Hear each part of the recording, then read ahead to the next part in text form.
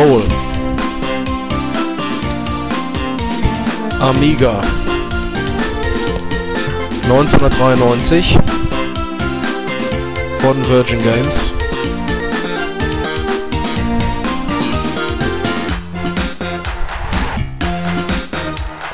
Von Dino Dini. Mr. Kickoff.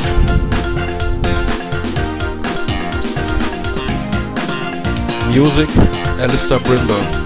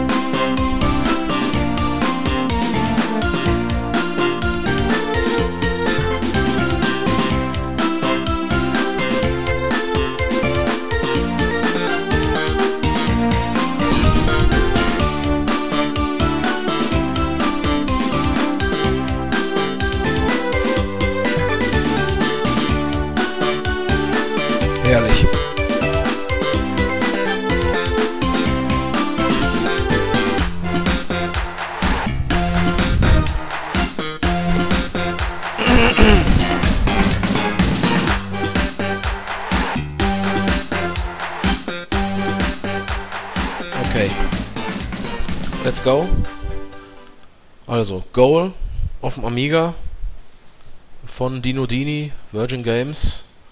Ähm, ja, Goal ist quasi der inoffizielle Kickoff 3. Ähm, ja, ist quasi inoffiziell Kickoff 3. Wurde halt nicht Kickoff 3 genannt oder konnte halt nicht Kickoff 3 genannt werden, weil die Rechte von Kickoff äh, liegen ja oder lagen oder wie auch immer bei Anso. Und ähm, ja, Dino Dini ist ja dann Mitte der 90, Anfang der 90er nach Virgin gegangen. Und deswegen musste das Spiel halt, oder wurde das Spiel Goal genannt.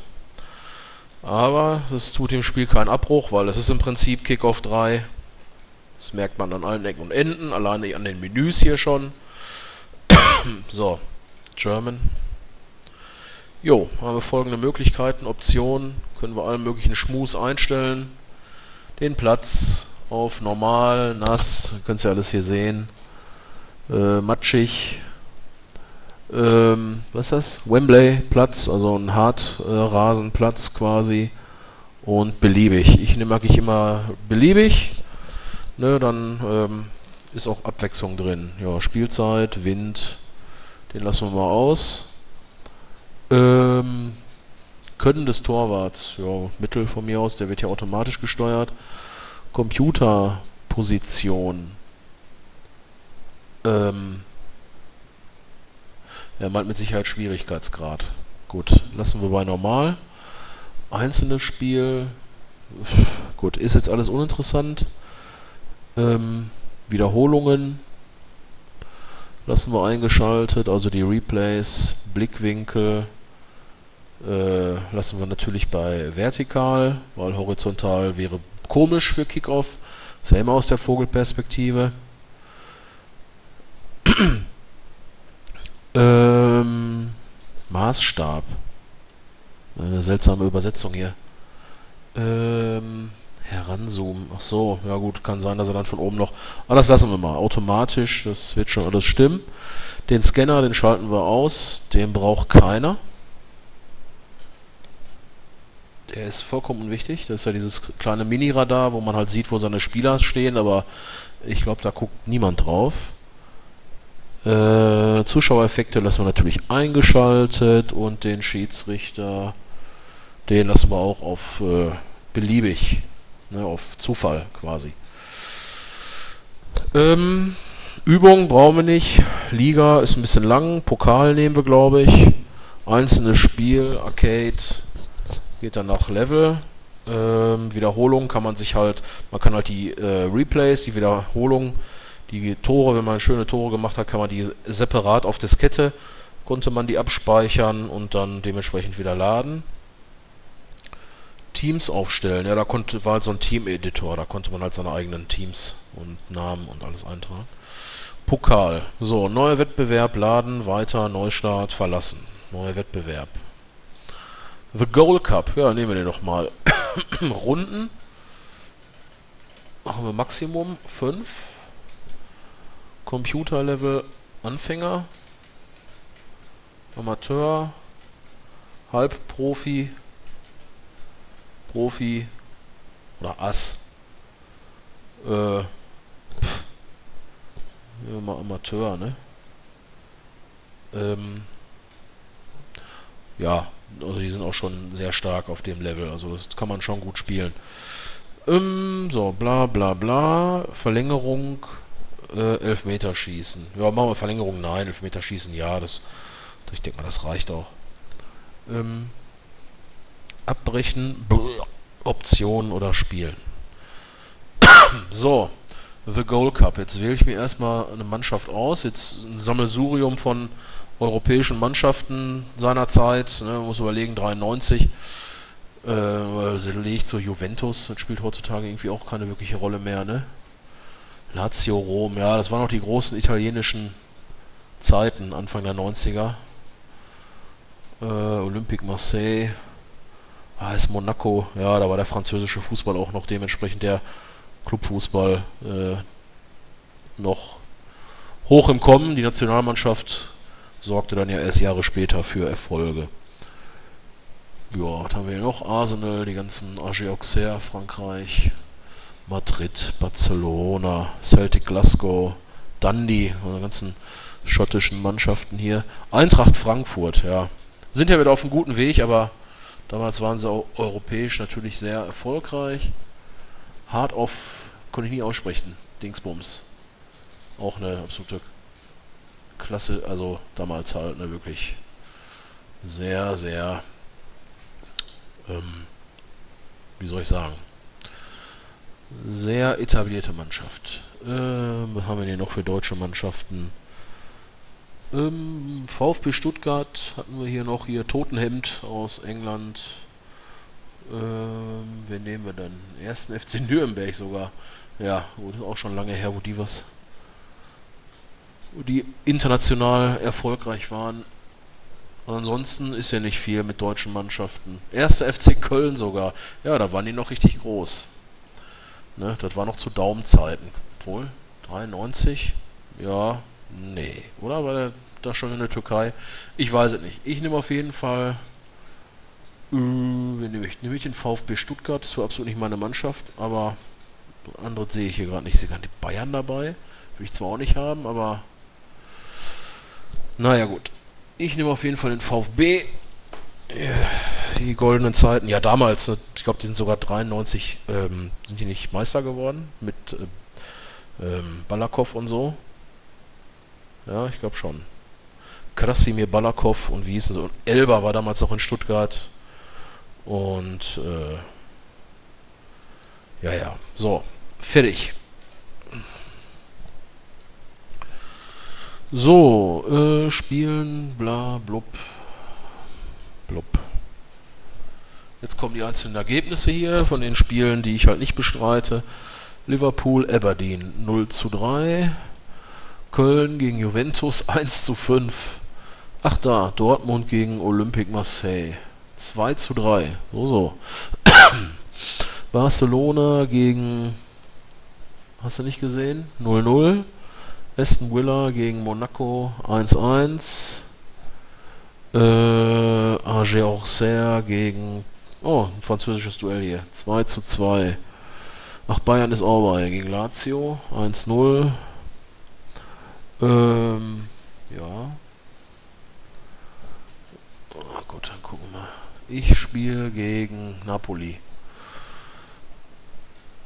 Platz normal, Schiedsrichter S. Lutsch, Loge oder wie auch immer. Weiter.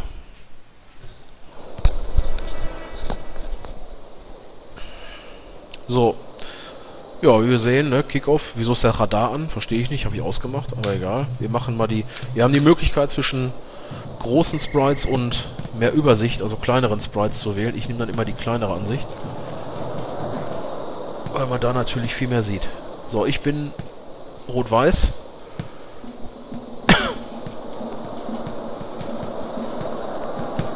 Oh shit. Ja, schon ein Tor. Naja.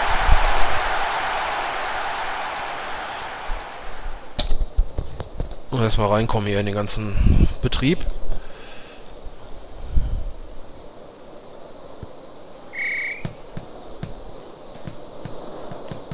Verdammt.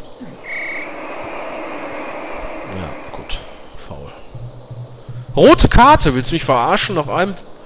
Ja, gut, der Schiri, der versteht auf jeden Fall keinen Spaß. Oh. Und eine Gelb... Och, du liebe Zeit. Ich glaube, das lassen wir mal lieber.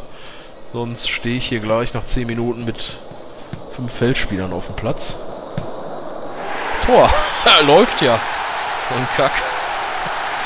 Oh je. Naja.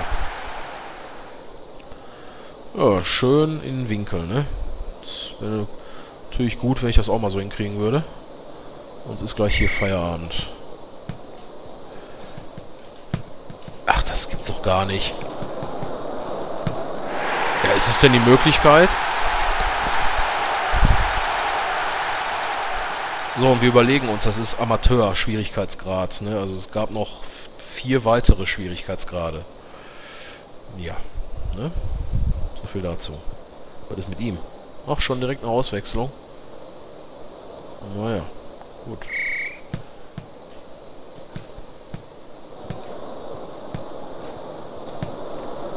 Ah, verdammt.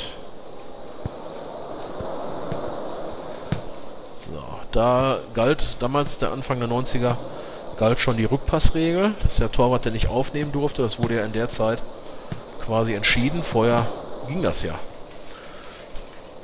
Ne? Da haben sich ja viele dann moniert, dass man dadurch das Spiel...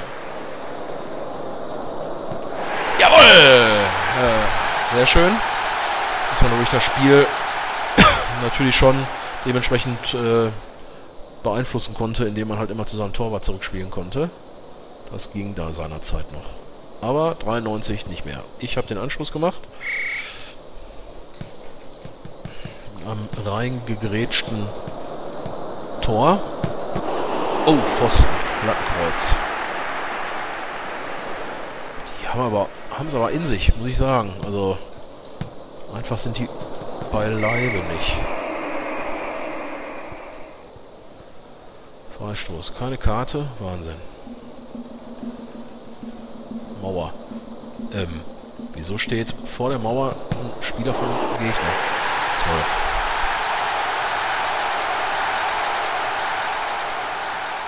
Ja, sieht gut aus. 1 zu 4. Erste Halbzeit ist gleich rum, Gott sei Dank.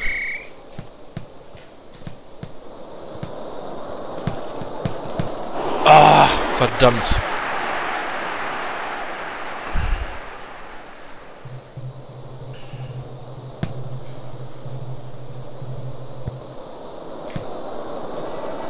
Ja, hat er, hat er, hat er, hat er. So.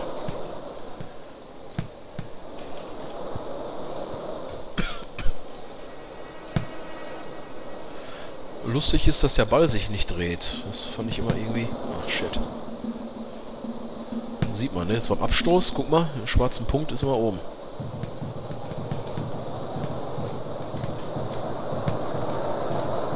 Boah, verdammt. Pest, ey. Ja, 1 zu 5 läuft. Ne? Und das in der ersten Halbzeit und das zu Hause. Tja. Da ist nicht mehr viel zu machen.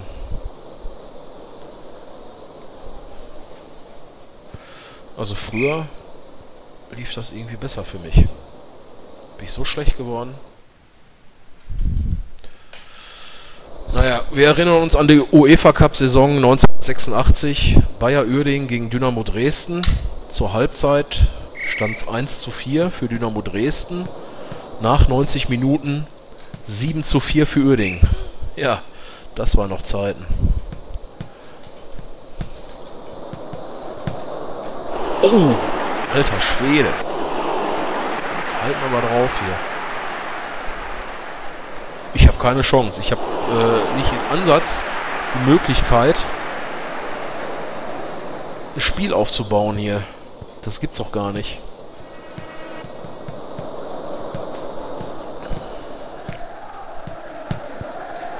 Ja. Mann, Mann, Mann.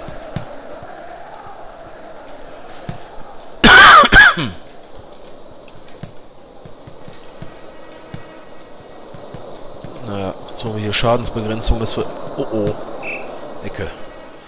Nicht, dass wir hier noch zweistellig abgezogen werden.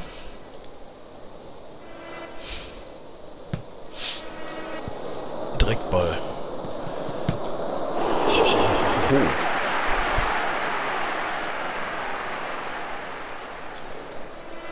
Ja, sicher, ey. Die haben alles. Die haben sofort den Ball direkt aus der Luft angenommen. Natürlich. Ist, ja. Ist klar. Ja gut, das gucken wir uns nicht nochmal an.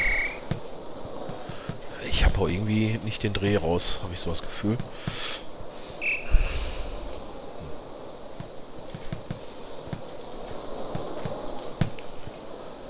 Jawohl, jetzt geht's ab hier. ja. Oh Gott. 1 zu 7. Nee, läuft nicht. Ich weiß auch nicht. Schade eigentlich, ne?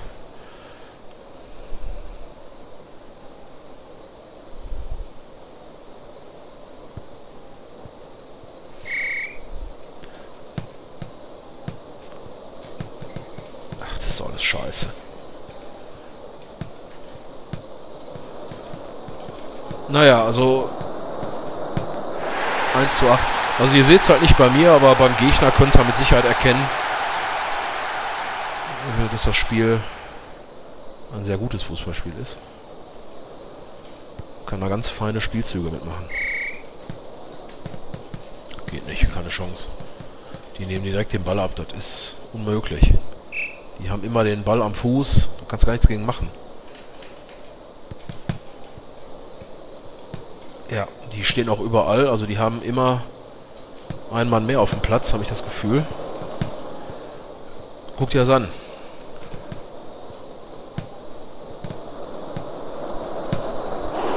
Ja. Jetzt gewesen noch. Gut, das war's. 1 zu 8 gegen Napoli.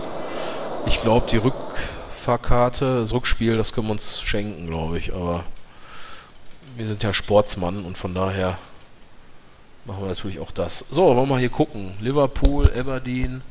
Aberdeen ist weiter. Köln gegen Juventus. Ganz klar Juventus. Borussia Dortmund gegen Dingsbums ist äh, Marseille weiter aufgrund der Auswärtstore. Barcelona gegen Montpellier. So, da sind die Franzosen weiter. Aston Villa gegen Bayern. Bayern weiter. Ne, warte mal, Moment mal. Aston Villa gegen Monaco, muss ich mal sagen. So, Auxerre gegen Paris. Äh, was? Wiederholungsspiel. Oder steht da fünftens? Ich habe keine Ahnung. so, Paris ist weiter. Aha, warum? Doch, stimmt aber. Na gut. So, Bayern München, Lazio ist dann Bayern weiter. Ja, genau.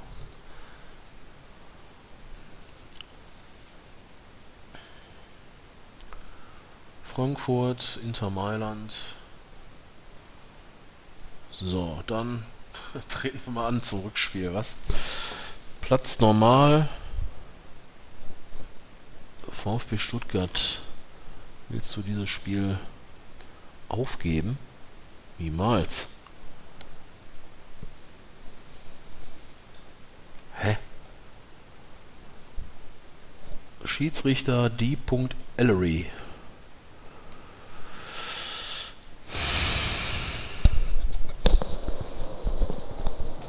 So.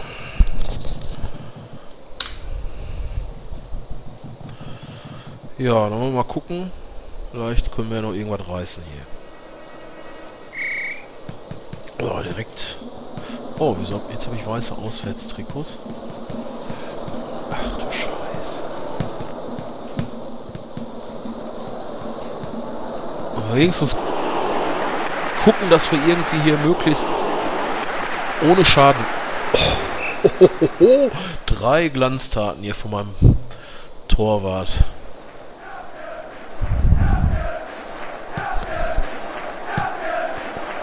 jetzt hier der Gegenzug.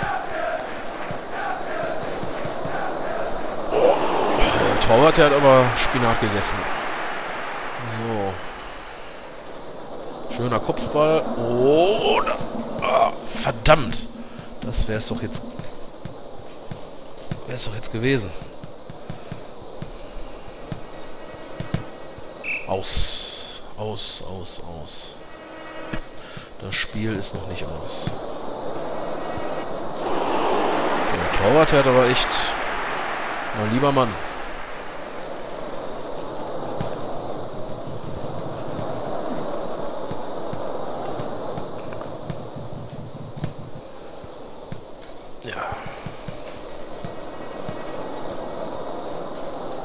Ah, das ist kacke, ey. Das geht mir so auf...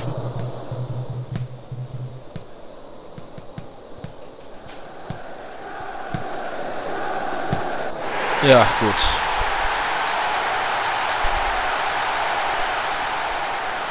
Die sind einfach viel zu stark.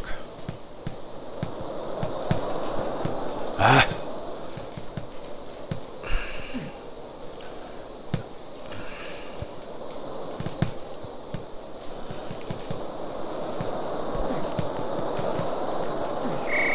Elfer. Naja, aber der wäre sowieso drin gewesen. ja, genau, jetzt geht er. In den Nahmodus. Ich war dran, ich war dran, aber das ging mir eindeutig zu schnell. Guck. Ja, ich war nicht dran. Aber die Ecke hat auf jeden Fall gestimmt.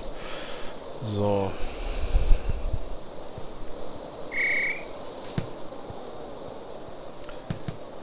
Die stehen auch selten dämlich da in diesem Anstoßkreis. Wie will man da einen vernünftigen... Oh, oh. Ja, gut, jetzt... Jetzt ist es wieder soweit. Ich spiele das hier zu Ende. Knallhart. Okay, nix.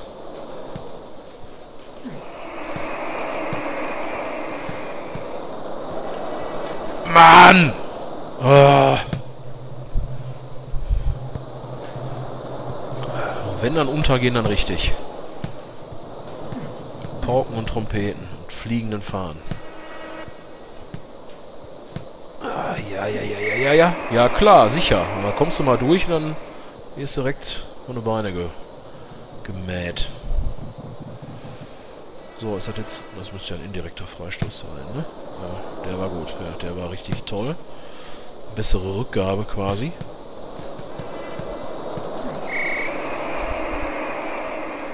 Ja klar, sicher. Ich krieg direkt einen roten Karton. Ist alles richtig.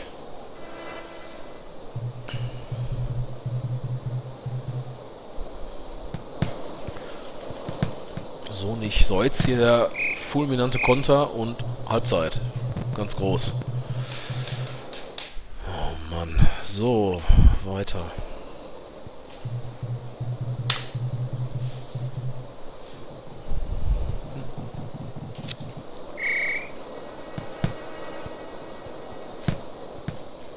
Der war clever. Das war eine Schach... Eine fast schon schachähnliche Eröffnung. Ganz hervorragend. Ah, das gibt's auch gar nicht, ey. Uh, drüber gelupft. Ecke? Kann aber nicht sein. Hm. Naja, gut. Was war das? jetzt nicht gesehen. Aha. Oh, hier gefährlicher. Ui, ui, ui, ui, ui. Nee.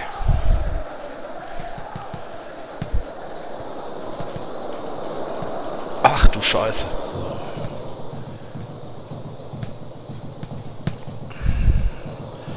Alle Mann. Ah, die Steuerung ist irgendwie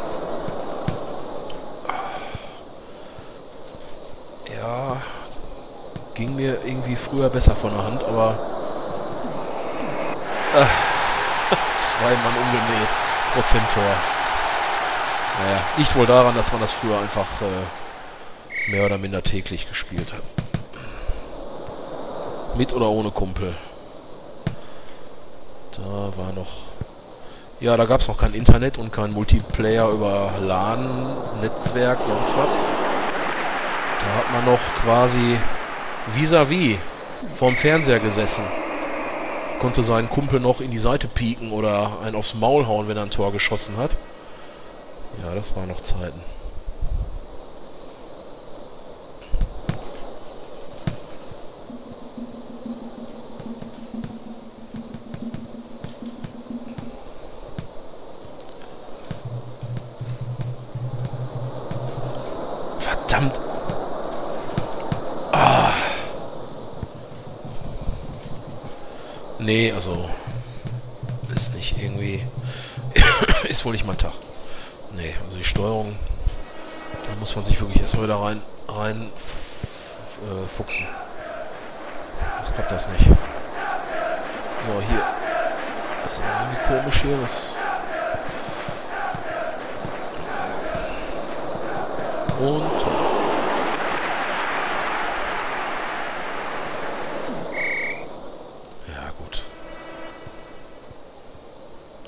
Noch eine rote Karte.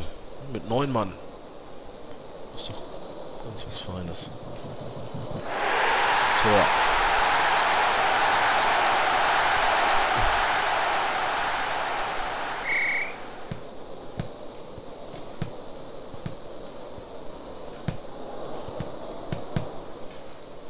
Ja. Man sollte die Pässe vielleicht ein bisschen ruhiger spielen, dann könnte das eventuell was werden.